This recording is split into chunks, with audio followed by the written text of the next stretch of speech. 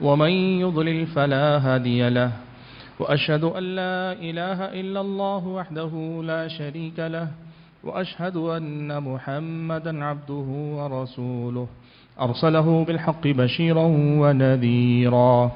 أما بعد فأعوذ بالله من الشيطان الرجيم. بسم الله الرحمن الرحيم. الذين هم على صلاتهم دائمون. بزرگان محترم، ملت اسلامیہ کے نوجوانوں اور دیگر حاضرین جمعہ، اللہ تبارک و تعالیٰ کی ذات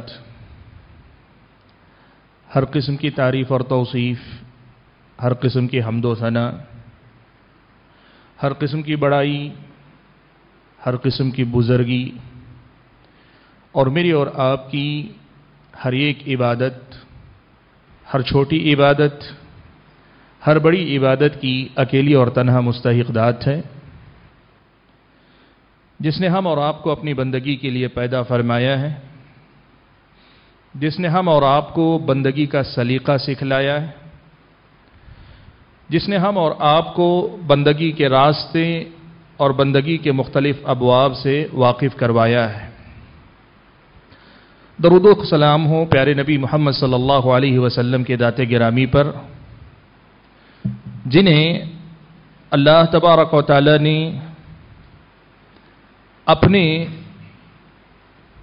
نبیوں کے سلسلے کی آخری کڑی بنا کر دنیا میں بھیجا، جنہوں نے ہر حال میں اللہ تبارک و تعالیٰ کی بندگی کر کے ہمیں بتلایا کہ اللہ تبارک و تعالیٰ کی بندگی کیسے کی جاتی ہے اور بندگی کرنے کا عملی طریقہ کیا ہونا چاہیے، ایک بندہ کیسے اللہ تبارک و تعالیٰ کا بندہ بن سکتا ہے، اس کا راستہ بتلایا، اس پر چل کر دکھلایا اور ہمارے اور آپ کے سامنے اپنے آپ کو بہترین نمونے کے طور پر پیش فرمایا ہے۔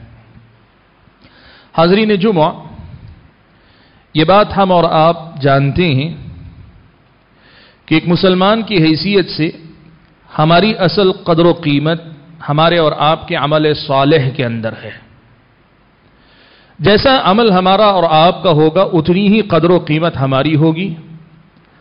ہماری اور آپ کی اللہ تبارک و تعالیٰ کے نزدیک اہمیت یا مقام چاہے ہم ایک فرد کی حیثیت سے دیکھیں یا پھر پوری ایک قوم کی حیثیت سے دیکھیں، اصل ہمارا وزن جو متعین ہوتا ہے وہ ایمان کے ساتھ عمل صالح کرنے میں ہے۔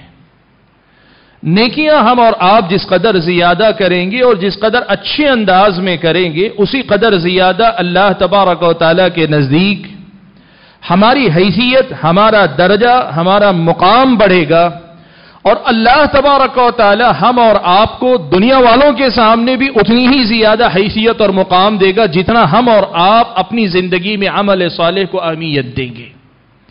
قرآن و سنت کے اندر یہ بات اللہ تعالیٰ نے مقرر بیان فرمائی کہ ایک بندے کی اس دنیا کے اندر فکر ہمیشہ یہ ہونی چاہیے کہ میں عمل کروں، مسلسل عمل کروں، بہتر عمل کروں اور مزید سے مزید تر عمل کرتا جاؤ، یہی ہماری سب سے بڑی فکر ہونی چاہیے۔ ہم اور آپ ایمان لانے کے ساتھ، مسلمان اپنے آپ کو کہلانے کے ساتھ، جب تک ہم اپنے اعمال کی طرف توجہ نہیں دیں گے، ہمارا ایمان مکمل نہیں ہوگا۔ ہمارا عمل ہمارے ایمان کا جز ہے، ہمارے ایمان کا حصہ ہے۔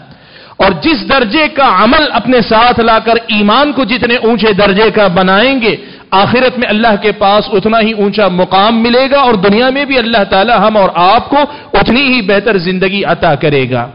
اس کا سیدھا سا مطلب یہ ہوا کہ ایک مسلمان کی زندگی میں سب سے زیادہ فکر اس بات کی ہونی چاہیے کہ ہم اور آپ مسلسل اللہ تبارک و تعالیٰ کی بندگی کرنے والے، عمل کرنے والے بندے بن جائیں۔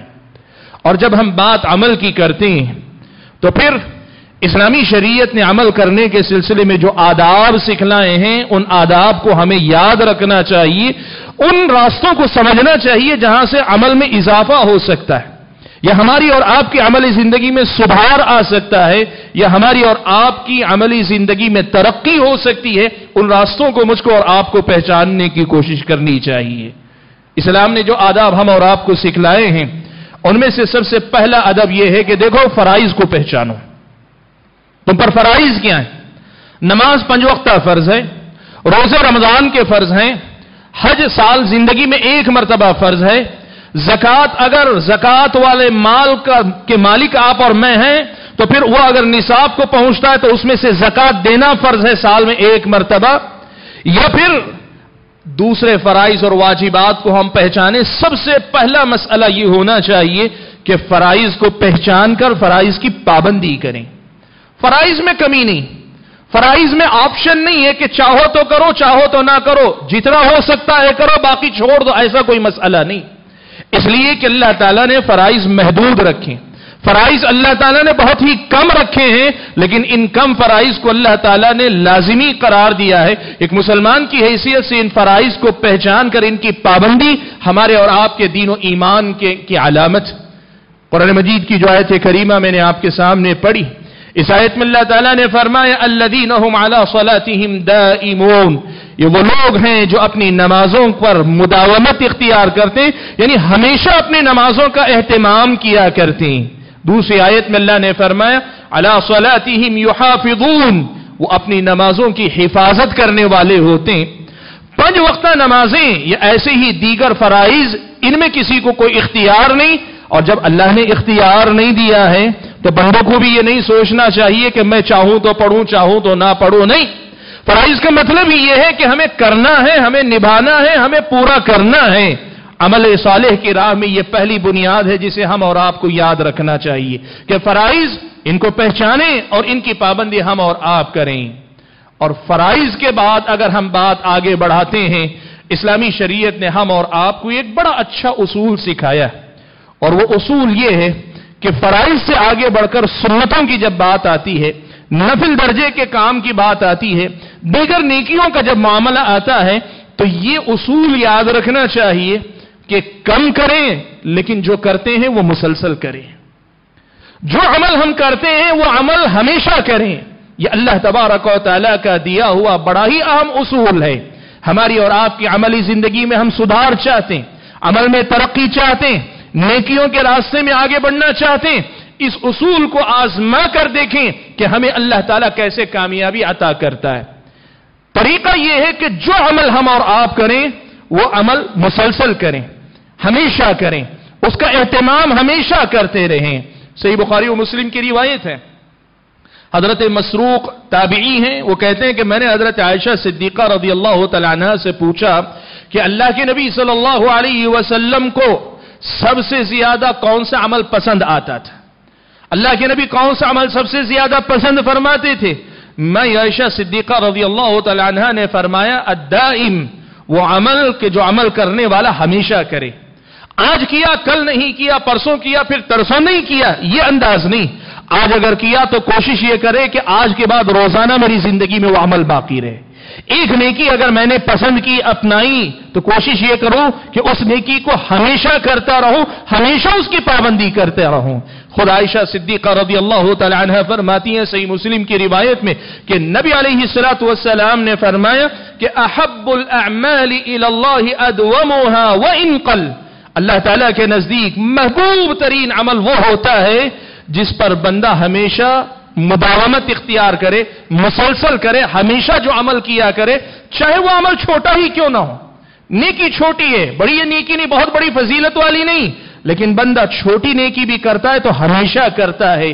نوافل سنتوں میں جو بھی ہم کریں، اس کو ہمیشہ کریں۔ اسلامی شریعت کی نظر میں ہم اور آپ کو یہ طریقہ سکھایا گیا علامہ ابن جوزی رحمت اللہ علیہ نے اس حدیث کی شرح کرتے ہوئے ایک بڑی پیاری بات لکھی یہ بڑی اہم بات انہوں نے لکھی ہے۔ وہ یہ لکھتے ہیں کہ اللہ تبارک و تعالیٰ نے، اللہ کے نبی نے یہ جو کہا کہ جو عمل چھوٹا ہی ہو لیکن ہمیشہ کیا جائے، یہ کیوں اللہ کو سب سے زیادہ پسند ہے؟ ابن جوزی رحمت اللہ علیہ نے کہا، اس کے دو سبب نظر آتے ہیں۔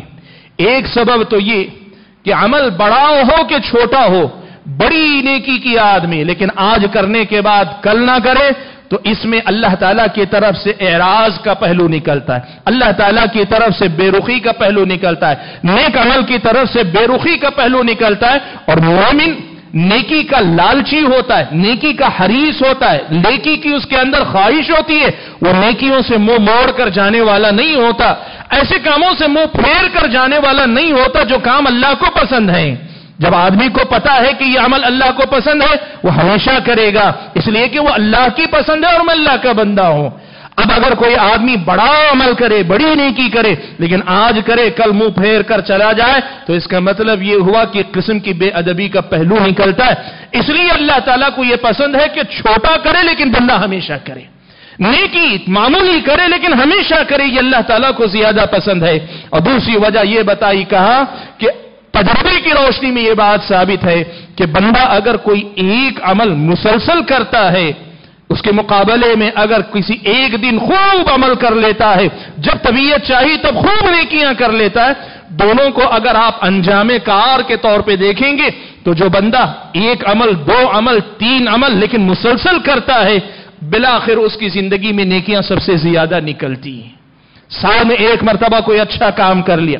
موقع آیا تو کوئی بہت بڑا کارنامہ انجام دے دیا، خیر کے کسی بھی کام میں سال میں ایک مرتبہ حصہ لے لیا، آپ نے اچھا کیا، لیکن چھوٹا سا عمل صحیح، لیکن مسلسل کیا۔ سال کے اختتام پہ آپ کے عمال نامے میں جو آدمی چھوٹا لیکن مسلسل کرنے والا ہوتا ہے، اس کے گھر میں اس کی زندگی میں سب سے زیادہ نیکیاں ہوتی ہیں۔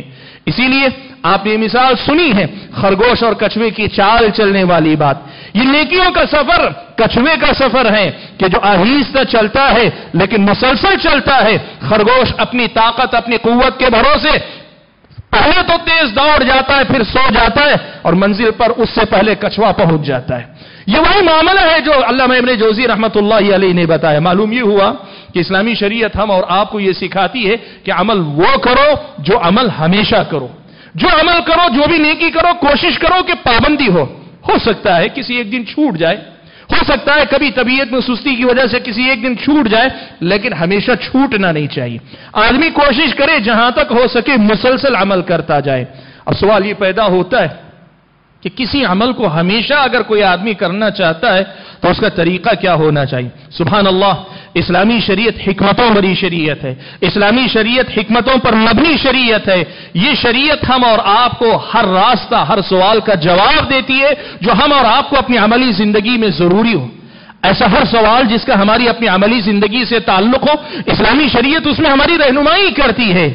اسلامی شریعت نے ہم اور آپ کو یہ ادب سکھایا کہ دیکھو اگر کسی عمل کو ہمیشہ کرنا چاہتے ہو، تو اس کے لیے سادہ سا اصول یہ ہے کہ تم عمل وہی منتخب کرو جو کرنے کی طاقت تمہارے اندر ہے۔ جوش میں آ کر بہت بڑا کام کر دیا، تو کل سے پھر ہر روز تو اتنا جوش باقی نہیں رہ سکتا۔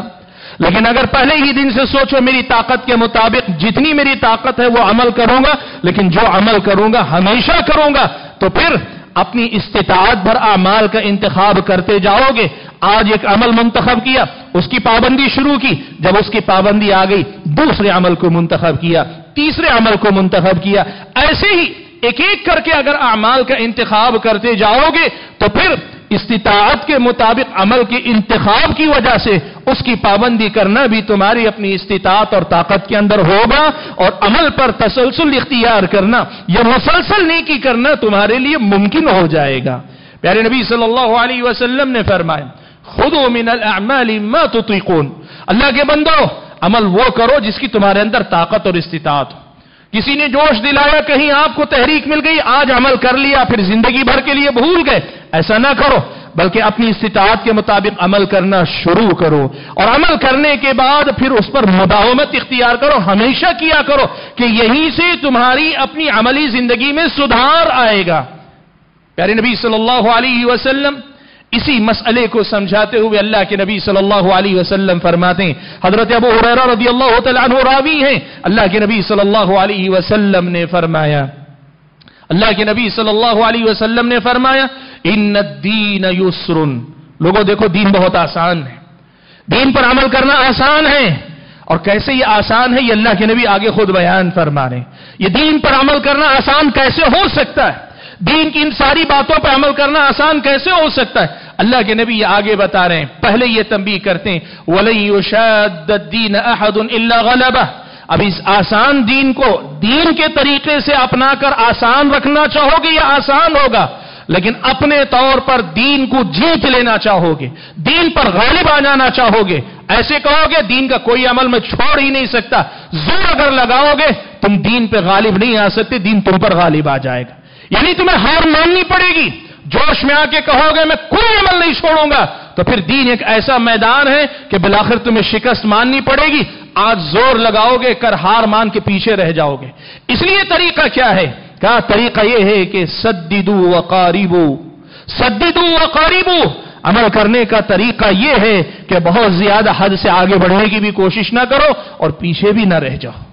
میانا روی کے ساتھ چلتے رہو اور اگر کسی عمل کو پورا پورا نہیں کر سکتے تو قریب قریب کرنے کی کوشش کرو۔ عمل ایسے نہیں ہوتا کہ آدمی جوش میں آ کے سب ایک دن جھٹکے میں چھوڑ دے، دوسرے دن پوری طریقے سے پابند ہو جائے۔ اکثر ایسی کوشش کرنے والے ہار جاتے ہیں۔ ایسا رویہ اختیار کرنے والے شکست کھا جاتے ہیں۔ لیکن جو دھیمی دھیمی چال چلتے ہیں، جو میانہ روی اختیار کرتے ہیں، وہ بے عمل بھی نہیں رہتے، عمل پہ رک نہیں جاتے۔ اور نہ ہی حد سے زیادہ آگے بڑھنے کی کوشش کرتے ہیں میانہ روی اختیار کرتے ہیں، جو عمل پورا نہیں کر سکتے، کوشش کرتے ہیں کہ قریب قریب اگر کرو تو کیا ہوتا ہے؟ اب شیرو اللہ کے نبی نے کہا، ایسا کر کے تم خوشخبری سنو یعنی خوش رہو کہ تمہیں منزل ملے گی۔ پھر اللہ کے نبی صلی اللہ علیہ وسلم نے فرمایا، وَاسْتَعِينُوا بِالْغُدْوَةِ وَالرَّوْحَةِ وَشَيْءٍ مِّنَ الدُّلْجَةِ اللہ کے نبی نے نیکیوں کی سفر کو دنیا کے مسافر سے تشبیح دیتے ہوئے کہا کہ دیکھو، اگر سفر اچھا طے ہونا ہے، تو صبح میں سفر کرو، یا سورج ڈھل کر جب دھوپ ڈھل جائے، اس وقت سفر کرو، یا رات کے آخری حصے میں سفر کرو۔ یہ وہ اوقات تھے جن اوقات میں عرب کے لوگوں کو سفر کرنے میں آسانی تھی۔ علم نے لکھا، اللہ کے نبی صلی اللہ علیہ وسلم نے عمل کرنے والے کو مسافر سے تشبیح دے کر، مسافر جیسا بتلا کر، یہ طریقہ سکھلایا ہے کہ دیکھو عمل کرنے کا طریقہ یہ ہے کہ جس طرح مسافر مناسب وقت دیکھ کر سفر کرتا ہے، نیکیاں کرنے میں بھی تم مناسب عمل کا انتخاب کرو۔ جو تمہارے طبیعت سے مطابقت رکھتا ہو، جو تمہارے لیے آسان ہو، ایک فقیر کے لیے کما کر خرچ کرنا بہت مشکل ہوگا، لیکن اللہ تعالیٰ کا ذکر کرنا اس کے لیے مشکل نہیں ہوگا۔ اور ہو سکتا ہے کسی مالدار کو نوفل عبادتوں میں بہت زیادہ وقت لگانے کی فرصت نہ ہو کہ وہ بہت بڑا تاجر ہے، لیکن وہ اپنی تجارت کے اندر اسلامی شریعت کی چھوٹی چھوٹی تعلیمات کی پابندی کرے۔ ایک آدمی جو کسی جگہ صبح سے شام تک مصروف رہتا ہے، وہ جسمانی عبادتیں شاید بہت زیادہ نہیں کر سکے گا، لیکن چلتے پھرتے ذکر تو زبان سے کر سکے گا۔ جس طرح مسافر اپنے حالات کے مطابق مناسب وقت دیکھ کر سفر کرتا ہے، نیکی کرنے والوں تم اپنی زندگی میں بھی مناسب عمل کا انتخاب کرو، لیکن اس عمل پر پابندی کرو۔ اس عمل کی پابندی کرو گے، یہ تمہارے لیے آسان ہو جائے گا۔ سبحان اللہ حضرت عبداللہ ابن عمر ابن عاص رضی اللہ تعالیٰ عبداللہ ابن عمر ابن عاص رضی اللہ تعالیٰ ایک ایسے صحابی تھے، بڑے عبادت گزار تھے۔ ہر دن روزہ رکھا کرتے، ہمیشہ، کوئی دن چھوٹا نہیں، ہمیشہ روزہ رکھا کرتے۔ اور قرآن بھی بکثرت پڑھا کرتے تھے۔ اس قدر زیادہ قرآن پڑھا کرتے تھے، اللہ کے نبی صلی اللہ علیہ وسلم کو پتا چلا۔ حضرت عبداللہ ابن عمر خود بیان کرتے ہیں۔ اللہ کے نبی نے مجھ سے پوچھا، کیا یہ صحیح ہے؟ مجھے بتایا گیا ہے کہ تم کسی دن بلا، بغیر کسی دن ناغا کی اور مسلسل روزہ رکھتے ہو؟ بغیر چھوڑے مسلسل روزہ رکھتے ہو؟ کہا اللہ کے نبی ایسا ہی میں کرتا ہوں۔ اللہ کے نبی صلی اللہ علیہ وسلم نے ان سے کہا کہ ایسا مت کرو۔ ایسا مت کرو۔ تم ایک کام کرو کہ عمل روزہ رکھو بھی، روزہ چھوڑو بھی۔ روزہ رکھو بھی، روزہ چھوڑو بھی۔ کیوں؟ کہا اس لیے کہ ایسا ہو سکتا ہے کہ یہ تمہارے اوپر غالب آ جائے۔ اللہ کے نبی نے کہا، ایک دن روزہ رکھو، ایک دن روزہ چھوڑو۔ صحابی اسرار کرتے رہے۔ اللہ کے نبی صلی اللہ علیہ وسلم نے ان کو گھٹاتے گھٹاتے لا کے آخر میں یہی کہا، سب سے بہتر روزہ داؤد علیہ السلاۃ والسلام کا روزہ ہے۔ ایک دن روزہ رکھو تو دوسرا دن روزہ چھوڑا بھی کرو۔ ایسا نہیں کہ مسلسل ہمیشہ روزہ رکھا کرو۔ اور قرآن کے بارے میں اللہ کے نبی نے کہا، سنا بہت زیادہ پڑھتے ہو۔ ایک کام کرو ایسے تلاوت کرو کہ اس مہینے میں ایک مرتبہ تمہارا قرآن ختم ہونا چاہیے۔ حضرت عبداللہ ابن عمر ابن عاص نے کہا، اللہ کے نبی، میں اس سے جلد ختم کر سکتا ہوں۔ اللہ کے نبی صلی اللہ علیہ وسلم نے کہا، گھٹاتے گھٹاتے اللہ کے نبی نے کہا اچھا ٹھیک ہے، اگر بہت زیادہ اگر کرنا ہے تو پھر ہفتے میں ایک مرتبہ قرآن مکمل کیا کرو۔ اس لیے کہ جو آدمی تین دن سے کم میں قرآن ختم کر لیتا ہے، اس نے قرآن کو سمجھا ہی نہیں۔ حاضین گرامی اہل علم نے حضرت عبداللہ ابن عمر ابن عاص رضی اللہ تعالیٰ عنہ کی اس حدیث کا مطلب جو سمجھا، جو اہل علم نے اس کا جو مطلب بیان کیا، وہ یہی مطلب ہے کہ آدمی جوش میں آ کے خوب عمل کرے، لیکن پھر ذرا طاقت ٹوٹنے کے بعد یا حالت بدلنے کے بعد بالکل عمل چھوڑ دے، اس سے تو اچھا یہ ہے کہ ایک عمل منتخب کرنے کے بعد مسلسل وہ عمل کرتا جائے۔ اور انتخاب ایسا کرے جو ہر حال میں جس کی پابندی کر سکتا ہو۔ آدمی کو ایسے نیکیوں کا سفر شروع کرنا چاہیے۔ جب بندہ یہ طریقہ اپنائے گا، اسلامی شریعت کے اس اصول کو اپنائے گا کہ عمل وہ منتخب کرے جو اس کے لیے ممکن ہے۔ اور پھر اس عمل پر مداومت اختیار کرے تو پھر رفتہ رفتہ ایک عمل اس کی معمولات زندگی میں آ جائے گا۔ پھر دوسرا عمل آئے گا، پھر تیسرا عمل آئے گا، پھر چوتھا عمل آئے گا۔ ایسے ایک ایک کر کے اپنی زندگی میں آدمی نیکیوں کا اضافہ کرتا جائے گا تو پھر وہ وقت آئے گا کہ ابتدا میں تو آدمی بہت زیادہ عمل کرنے والا نہیں تھا، لیکن ایک مدت کے بعد آدمی دیکھے گا تقریباً ہر اہم نیکی جو نفل درجے کی نیکی ہے، لیکن بندے کی زندگی کے اندر وہ نیکی اس کو نظر آئے گی۔ حاضر گرامی، عمل صالح، یہ ہمارا سرمایہ، یہ ہماری کھیتی، یہ ہماری کمائی ہے، یہ ہماری وہ دولت ہے جو ہم لے کر اللہ تعالیٰ کے پاس جانے والے ہیں۔ لوگ دولت کمانے دولت بڑھانے کے اصول سیکھتے ہیں۔ ہم اور آپ کو چاہیے عمل صالح کرنے کے ان اصولوں کو سیکھ کر اپنی زندگی میں عمل پیرا ہونے کی کوشش کریں۔ میں اپنی گفتگو کو ختم کرتے ہوئے اللہ تعالیٰ سے دعا کرتا ہوں کہ اللہ تعالیٰ مشکل اور آپ کو مسلسل نیکی کرنے والا مسلمان بنائے۔ ہر چھوٹی بڑی نیکی کو رفتہ رفتہ ہمیں اپنی زندگی میں لانے کی توفیق عطا فرمائے۔ اللہ تعالیٰ جب تک دنیا میں رکھے، ایمان اور اسلام پر قائم رکھے اور جب اپنے پاس بلائے تو ایمان کی حالت میں بلائے۔ آمین۔ و آخر دعوانا الحمد للہ رب العالمین۔